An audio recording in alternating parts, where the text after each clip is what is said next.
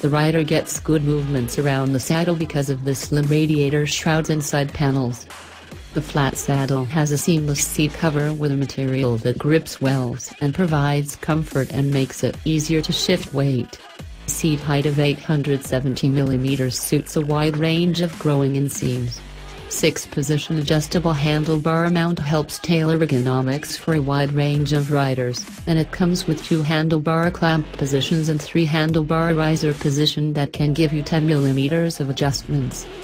The motorcycle features a high-tensile steel frame tubes having reinforcements in key areas to manage weight shifts.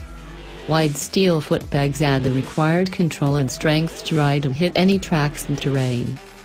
Suspension units are picked up from the KX110.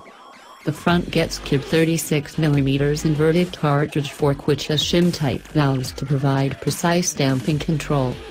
The rigid forks give for a superior steering response and control.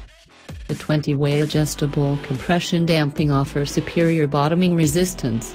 At the rear, you get a Uni-Trak unit with KYB reservoir shock connected to a large cross-section beam swing arm for that improved rigidity and control. Shock is fully adjustable with 24-way compression and 21-way rebound damping, plus stepless spring preload.